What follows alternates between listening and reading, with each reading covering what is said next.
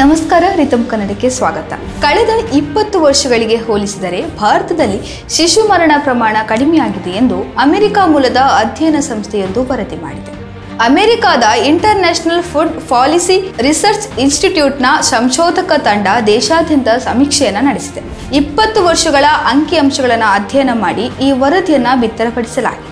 ಅಷ್ಟೇ ಅಲ್ಲದೆ ಎರಡು ಸಾವಿರನೇ ಇಸವಿಯಿಂದ ಎರಡು ಸಾವಿರದ ಇಪ್ಪತ್ತರವರೆಗೆ ಶಿಶುಗಳ ಹಾಗೂ ಐದು ವರ್ಷದೊಳಗಿನ ಮಕ್ಕಳ ಮರಣ ಪ್ರಮಾಣ ಕಡಿಮೆಯಾಗಿರುವುದಕ್ಕೂ ಸ್ವಚ್ಛ ಭಾರತ್ ಅಭಿಯಾನಕ್ಕೂ ಸಂಬಂಧವಿದೆ ಎಂದು ಈ ವರದಿ ತಿಳಿಸಿದೆ. ಪ್ರಧಾನಿ ನರೇಂದ್ರ ಮೋದಿ ನೇತೃತ್ವದ ಸರ್ಕಾರ ಚಾಲನೆ ನೀಡಿದ ಸ್ವಚ್ಛ ಭಾರತ ಅಭಿಯಾನ ದೇಶದಲ್ಲಿ ಶಿಶು ಮರಣ ಪ್ರಮಾಣ ತಗ್ಗಿಸಲು ನೆರವಾಗಿದ್ದು, ಶೌಚಾಲಯಗಳ ನಿರ್ಮಾಣದಿಂದ ವಾರ್ಷಿಕ ಅರವತ್ತು ಸಾವಿರದಿಂದ ಎಪ್ಪತ್ತು ಸಾವಿರ ಶಿಶುಗಳ ಸಾವನ್ನು ತಪ್ಪಿಸುವಲ್ಲಿ ಅಭಿಯಾನವು ನಿರ್ಣಾಯಕ ಪಾತ್ರ ವಹಿಸಿದೆ ಎಂದು ಈ ಅಧ್ಯಯನ ತಿಳಿಸಿದೆ.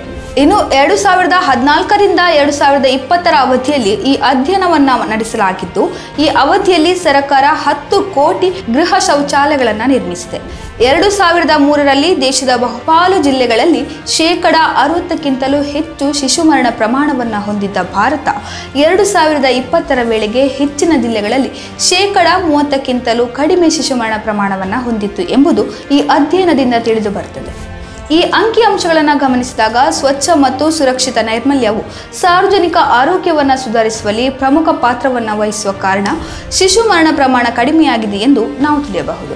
ಪ್ರಧಾನಿ ಮೋದಿ ಕೂಡ ತಮ್ಮ ಸಾಮಾಜಿಕ ಮಾಧ್ಯಮ ವೇದಿಕೆಯಲ್ಲಿ ಈ ಅಧ್ಯಯನದ ಬಗ್ಗೆ ಹಂಚಿಕೊಂಡಿದ್ದು, ಶಿಶು ಮತ್ತು ಮಕ್ಕಳ ಮರಣವನ್ನು ಕಡಿಮೆ ಮಾಡುವಲ್ಲಿ ಶೌಚಾಲಯಗಳ ನಿರ್ಮಾಣ ನಿರ್ಣಾಯಕ ಪಾತ್ರವನ್ನು ವಹಿಸುತ್ತದೆ ಎಂದು ಹೇಳಿದ್ದಾರೆ. ಈ ಎಲ್ಲಾ ಬೆಳವಣಿಗೆಗಳನ್ನು ಗಮನಿಸಿದಾಗ ಎರಡು ಸಾವಿರದ ಹದಿನಾಲ್ಕರ ನಂತರ ದೇಶದಲ್ಲಿ ಬದಲಾವಣೆಯ ಜೊತೆಗೆ ಉನ್ನತ ಮಟ್ಟದ ಪ್ರಗತಿಗಳಾಗಿವೆ.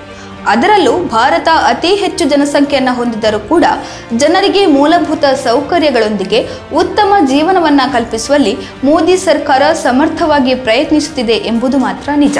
ಇದಾಗಿತ್ತು ಈ ಹೊತ್ತಿನ ವಿಶೇಷ. ಇನ್ನಷ್ಟು ಹೆಚ್ಚಿನ ವಿಚಾರಗಳಿಗಾಗಿ ವೀಕ್ಷಿಸಿ ರಿತಂ ಕನ್ನಡ.